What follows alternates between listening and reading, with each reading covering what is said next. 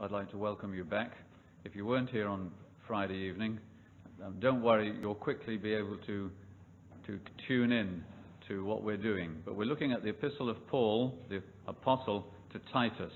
So, as far as possible, every man and woman and boy and girl needs to have Titus open in front of us.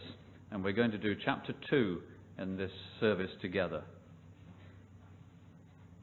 In chapter 1, because remember, it's when the church is in a mess. In chapter 1, the apostle said, This is where we begin. First of all, we think great thoughts.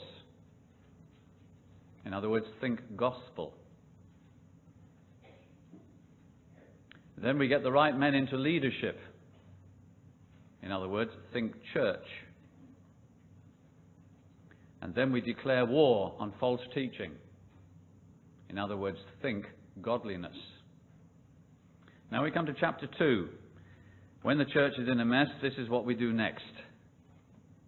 And, ladies and gentlemen, the church often is in a mess.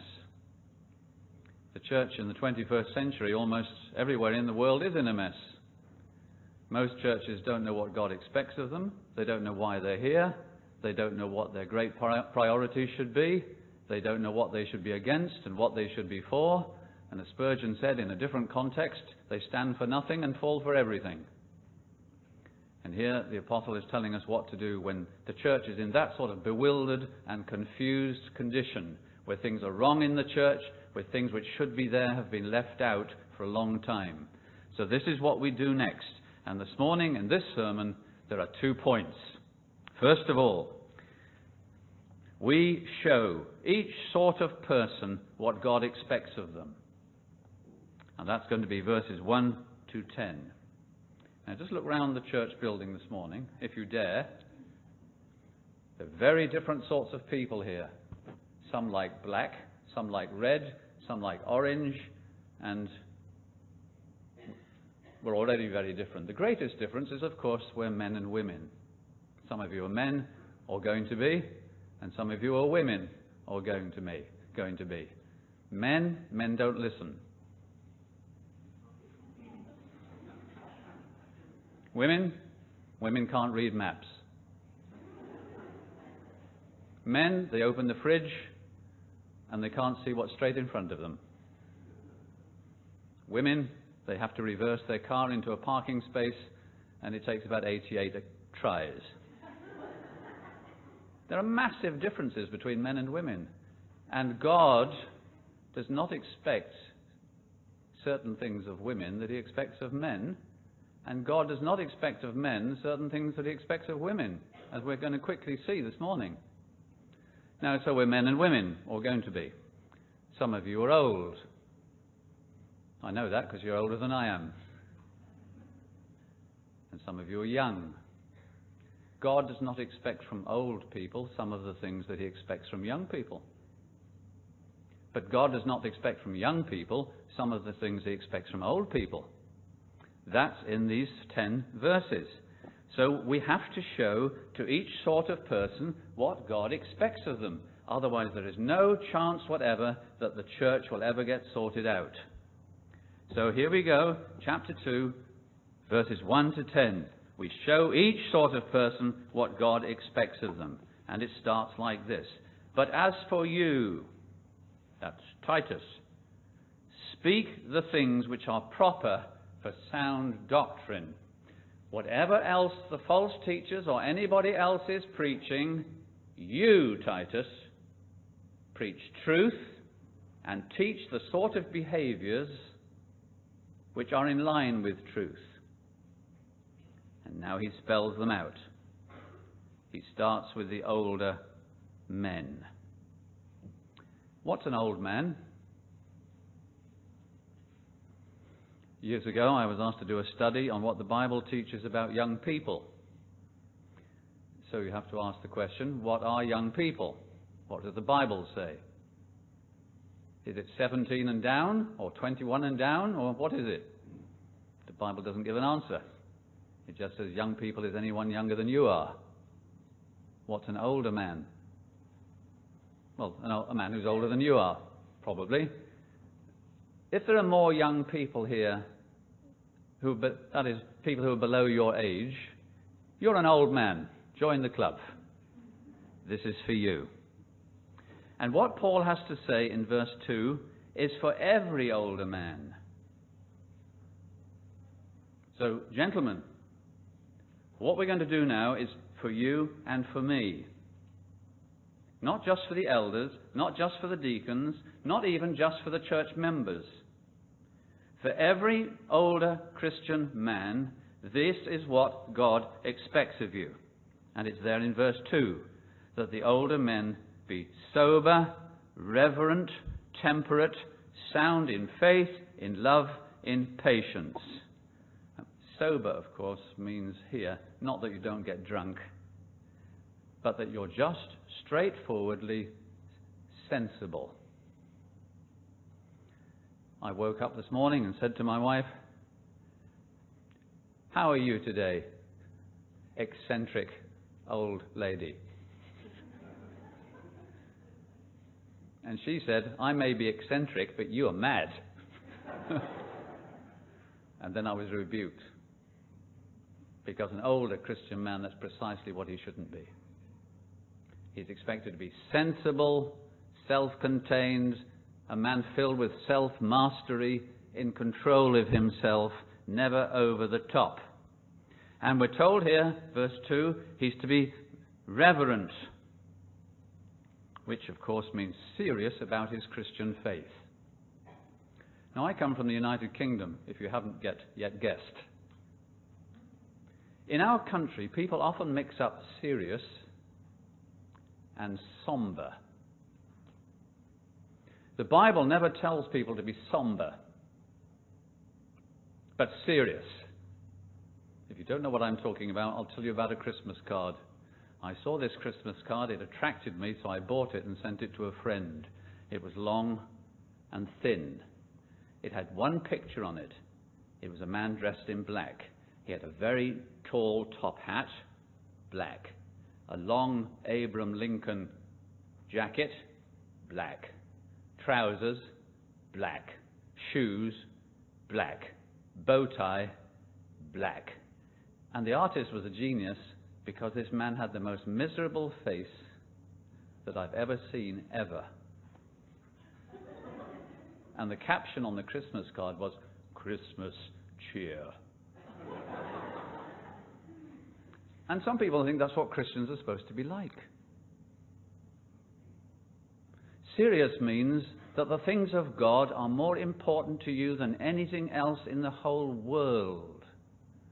But it does not mean, of course, going through life like the man on the Christmas card. And older men are expected to behave as if the, old, the things of God were the most important things in the whole world, that there is nothing, nothing, nothing at all in the same category. And that's what the apostle is saying here. So you're to be master of yourself and filled with seriousness and temperate. You've got no appetite which is out of control, no habit which you're, no ma- which you're not master of. And then he says, sound in faith, in love, in patience. If you study the New Testament, you'll probably get a little bit of a surprise at that point. Why is that? Well, Paul normally talks about faith, hope, love. Those are his three.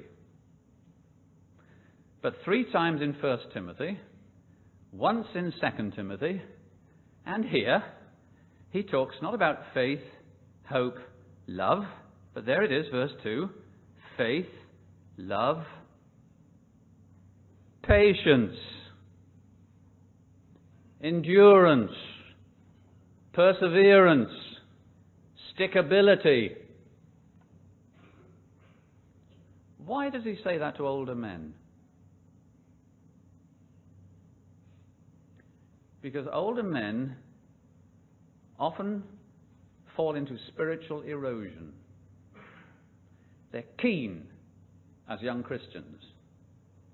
But as the years go by, they get less and less keen and something's just wearing away on their spiritual life. And often they end up as a spiritual disappointment. And the apostle says faith, love, patience, that is endurance, that is perseverance. You keep soldiering on, just like you always did, and you never let things slip, because what you do at the end of your life is vital. And if you do it badly, you can undo all the good that you did in your younger life. When I was a young pastor, I was very influenced by a, an older pastor. One thing he taught us was the importance of church. Then he retired and never went to church again till the day he died. How much good did you think, do you think that did? What did people think of the previous 40 years when he stressed the importance of church? I know of a man who pastored a church for 40 years and kept stressing the importance that Christians, of whatever, whatever their, their denomination and background, as long as they love the cross of Christ, should stand together. But insisted when he retired that a good number of the people should follow him because he would pastor another church in his retirement, which he would, he would start from scratch and succeeded in splitting the church which he had pastored for 40 years. What do you think that did to the previous 40 years of his ministry? I know of a man who preached on our beaches in Britain, and hundreds and hundreds, probably thousands actually, came to Christ under his preaching. But when he got older, he denied the existence of hell. What do you think that did to all the people who come to Christ through his preaching. We say in Welsh, any fool can begin well. But what about ending? And the apostle is saying to the older men, You older men, take care that you finish well. The older women, likewise. And now we move to verse 3. What's he got to say to the older ladies? Let's read what it says. The older women likewise, that they be reverent in behavior. When you look at their life, the way they carry themselves, the things that they think about, the priorities they keep, you can only come to the conclusion that they are holy women. Not slanderers, because some older ladies have time on their hand, and what do they talk about? others, and not always very nicely. Not given to much wine. I don't think most women here probably are going to end up drinking themselves under the table. But maybe there's some excesses which you didn't permit yourself when you were younger, but now you're an older lady, you think that it's, it's probably all right. And into your life has crept the sin of self indulgence. Teachers of good things. Because every older lady in this building this morning is a teacher. Not a teacher from the pulpit, maybe not a teacher in a Bible class or Sunday school, but every woman in the building who's older is a teacher by your example, the things that you do, the things that you don't do, the things that you speak about, the places that you go, the clothes that you wear, the language that you use. All the time you're teaching something to others and they are noticing it and absorbing it and taking it on board. So make sure, says the apostle, that all the older women only teach good things. In other words, give an example which the younger women can follow easily. And not just give them an example, get near to the younger women and teach them. And there Paul builds a bridge. He's telling the older women that every single older woman, without an exception, and anyone who is an exception is sinning, every older woman is to teach younger women how to live the Christian life. and especially to teach them about these seven things. And in mentioning these seven things, he then shows the younger women what is expected of them. Would you like to see what they are now in verse 4? That they admonish the younger women to love their husbands. Let me tell you about Sally. My wife spent time with Sally once or twice a week for a couple of years. Sally loves to talk about her husband. She's infatuated. She's infatuated with her husband, obsessed with her husband. She talks about her husband morning, afternoon, and evening.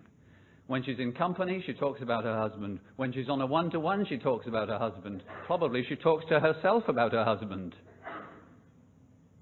How lazy he is. How idle how irresponsible, how thoughtless, how unpunctual, how sloppy, how untidy. That's what she says. What impression is she giving? She's a Christian woman. Who's going to put her straight? The pastor? You don't understand my problems, pastor. So the older women get close and they take Sally aside and say, Come on now, Sally, think about this. Think about what you're doing.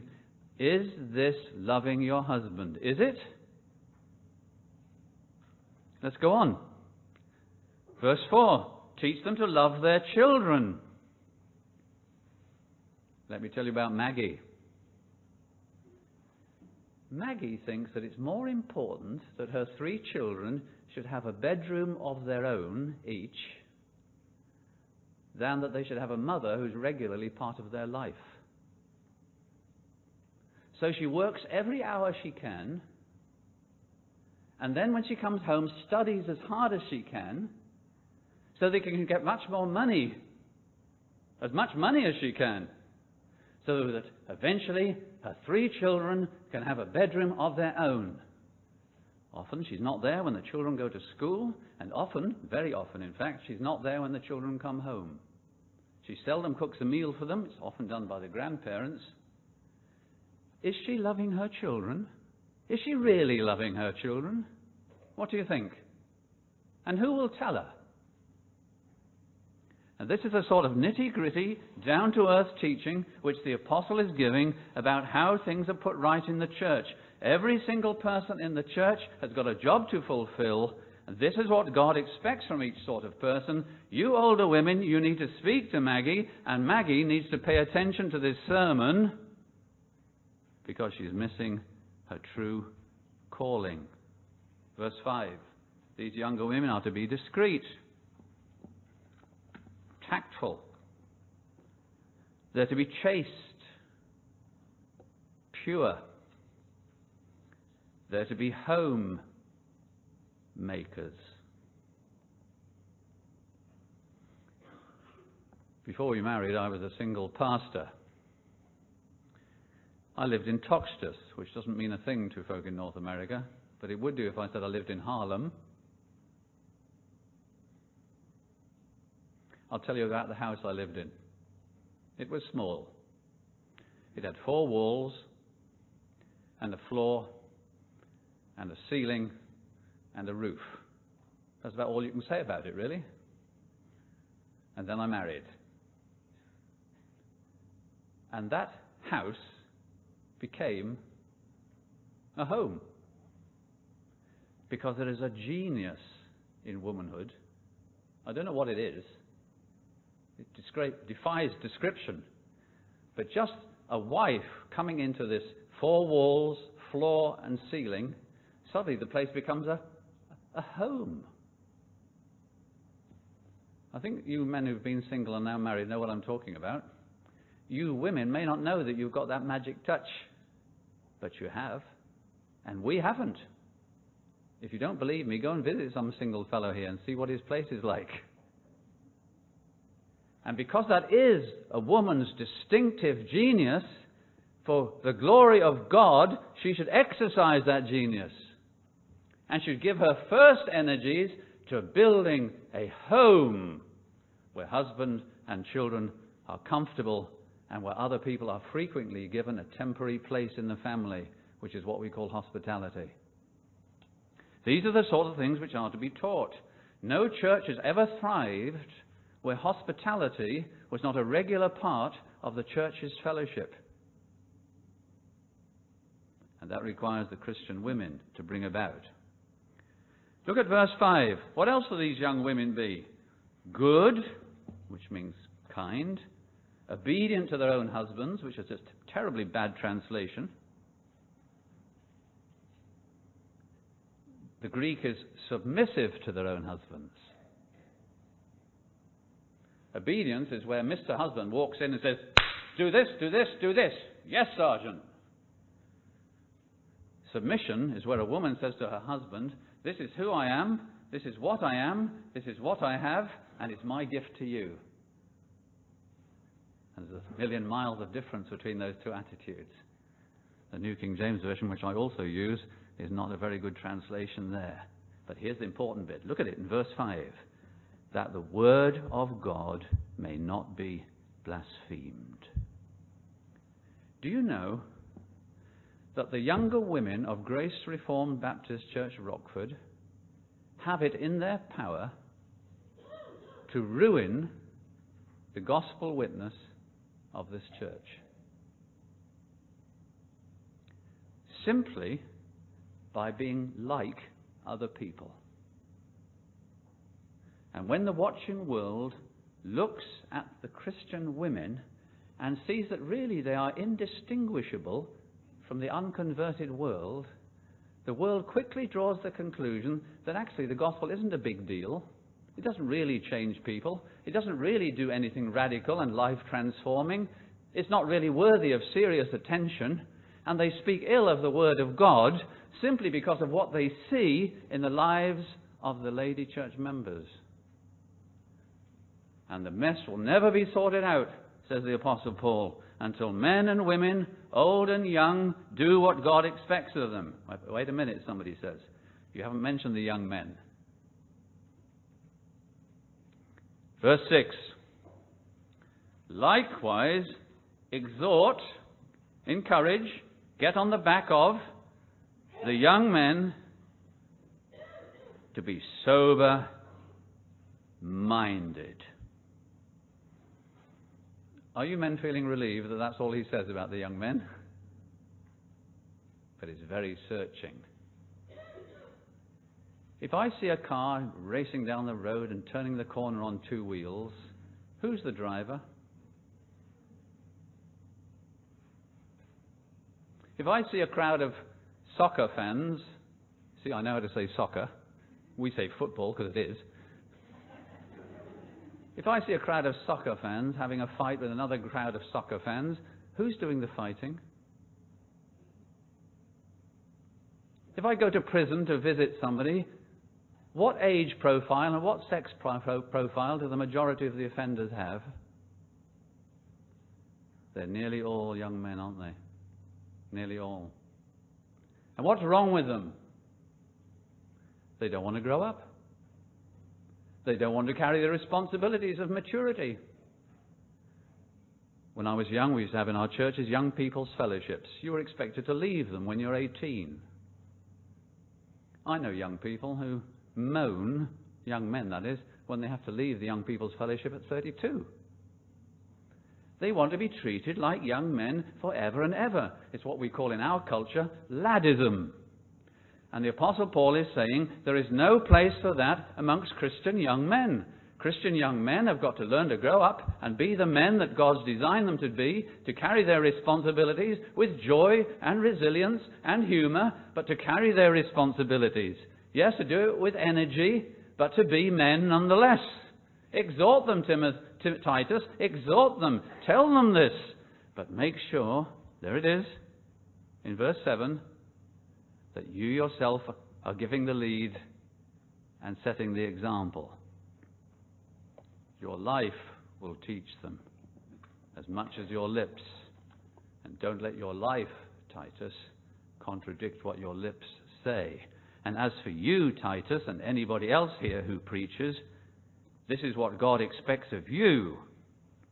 Your manner of teaching, verse 7, should be integrity, reverence, incorruptibility.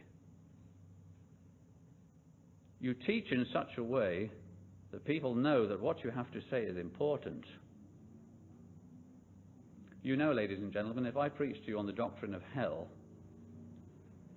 but told a few very funny jokes as I did it, that I would undo everything I was saying to you. Not by what I was saying, but by the manner in which I said it. The manner's important, but so is what you teach, Titus, verse 8. Sound speech that cannot be condemned, that one who is an opponent may be ashamed, have nothing evil to say of you. Because when the preaching is serious, and the life of the preacher is godly, and when the content of the preaching is truth, most of our opponents are silenced.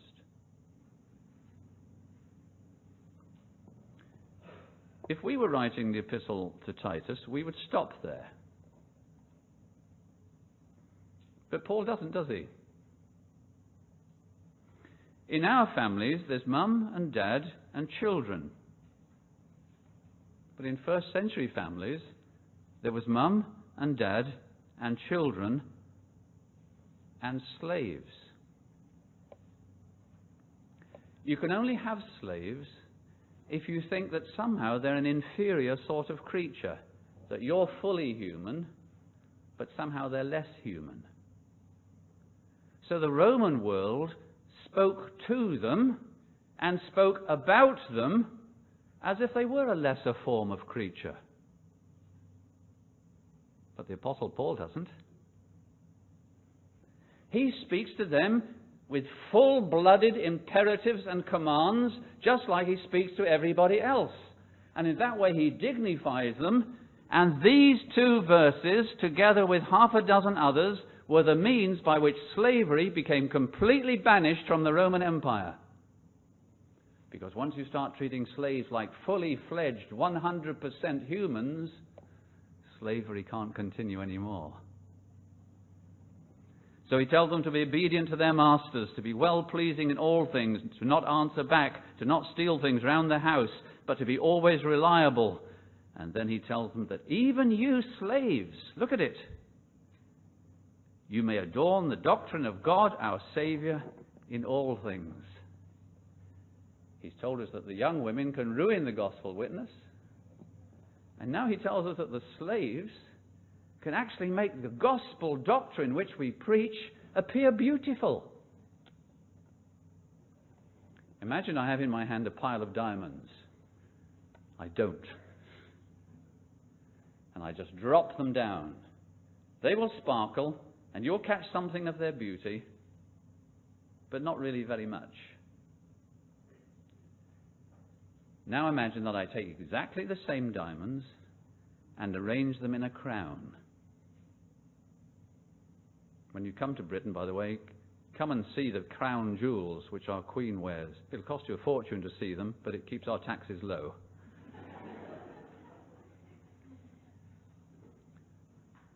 And then when you've got exactly the same jewels arranged, you can see them in their true beauty. And frankly, when older men and younger men, and older women and younger women, and slaves, and those who preach, all live in the way that God expects them to live, the gospel shines as a very beautiful and attractive thing indeed. And before all who see it, and before all who come into contact with Christians, they can see something of the wonder and uniqueness of the gospel message which we love to proclaim in our churches. And Paul is once more showing us that Christian behavior and Christian witness are so linked together that we dare not separate them. That's what he says in verses 1 to 10 of chapter 2. So here it is. We, we show each sort of person what God expects of them. And frankly, no one should go away from a passage like that the same as they were before. But the chapter doesn't end there. So here's our second point. We show each sort of person what God expects of them, and we tell them why. And verse 11 starts, For. Tell them to live like this, and this, and this, and this, and this, because, for. And then once more, we're in one of these great gospel paragraphs where our minds are filled once more with enormous thoughts. And then at last we understand why men and women, old and young, and servants and preachers all have to live like that. Not because the pastor lays down the rules and says, you do this, you do that, but because of some other great reason which conquers us completely, which is the reason why we have to live in the way that we have to live. So we're now going to look at verses 11 to the end of this chapter.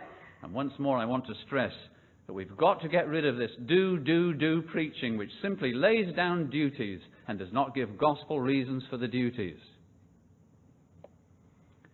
So we're in chapter 2, verse 11. I'm going to read it. For the grace of God that brings salvation has appeared to all men, teaching us that denying ungodliness and worldly lusts, we should live soberly, righteously, and godly in the present age, looking for the blessed hope and glorious appearing of our great God and Saviour, Jesus Christ, who gave himself for us, that he might redeem us from every lawless deed and purify for himself his own special people, zealous for good works. Speak these things exhort, and rebuke with all authority. Let no one despise you. Very strong paragraph, don't you think? Something has happened. We live differently because something has happened. God's grace has appeared. God loved the world of sinners lost and ruined by the fall. God's kindness has appeared. It was fleshed out in the Lord Jesus Christ. God Himself was manifest in the flesh. There's a life we should have lived. He lived it for us. There's a death we deserve to die. He died it for us. We're saved by a Savior. And the grace of God has appeared in our own lives. 2,000 years later, we've been brought to close in on this Jesus Christ and throw ourselves into His care and rely upon Him completely and to believe that He lived for us and to believe that He died for us and to believe that we can come to God through Him because He still lives in the power of an endless life to save all who will come to God by him. And God's grace has appeared in our life, and we've been brought to this holy Christ who died for sin and came to save sinners. God's grace has appeared, and we can't live as if it hadn't. And that grace teaches us. Negatively, verse 12, it teaches us to deny ungodliness and worldly lusts. Sometimes young people ask me what ungodliness is. I tell them about my dog. I was given a dog. I was a single man and I was given a dog.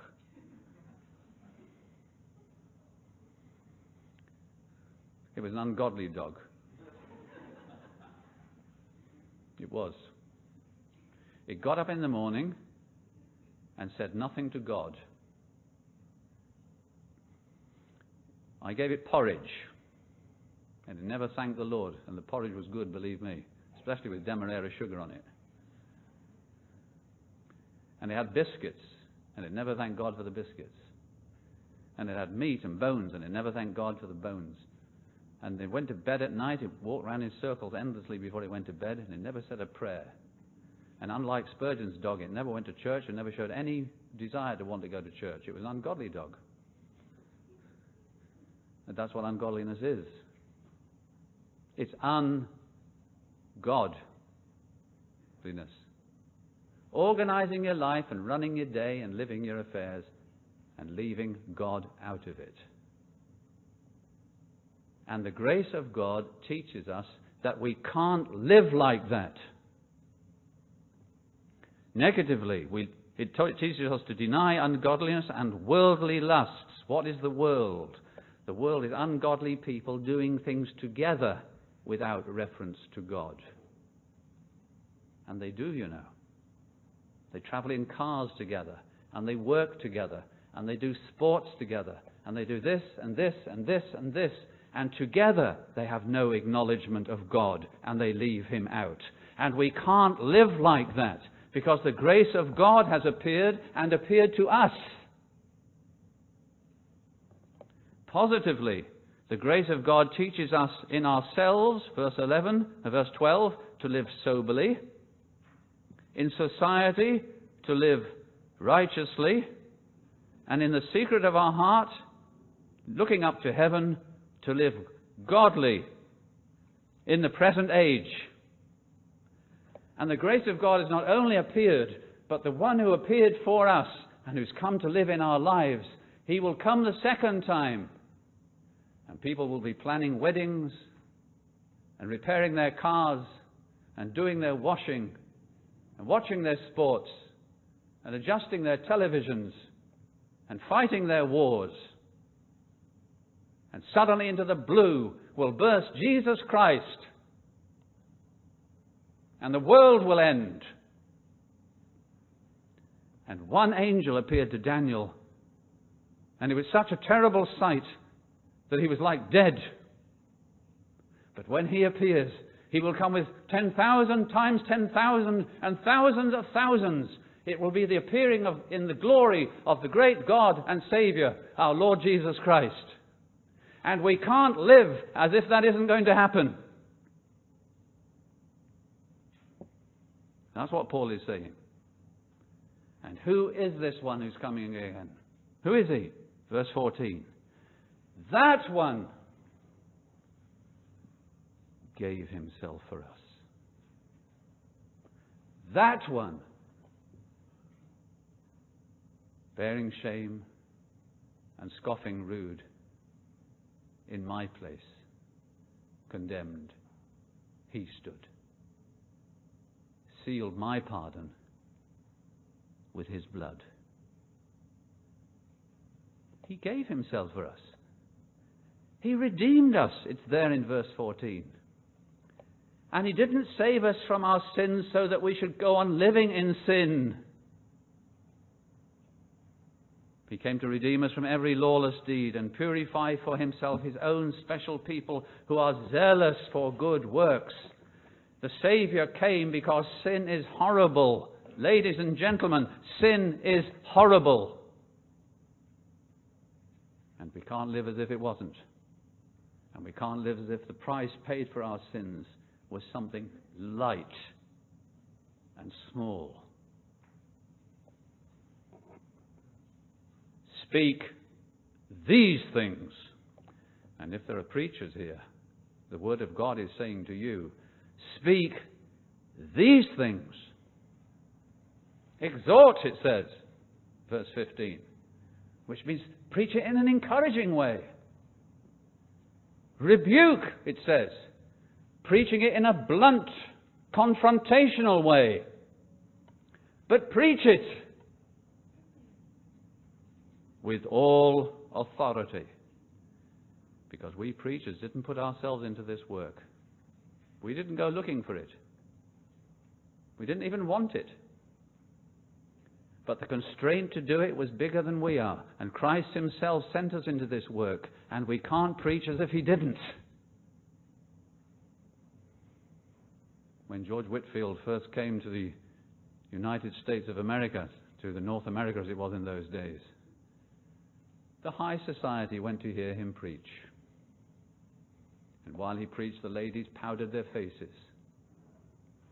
And the young men sniggered behind their hands.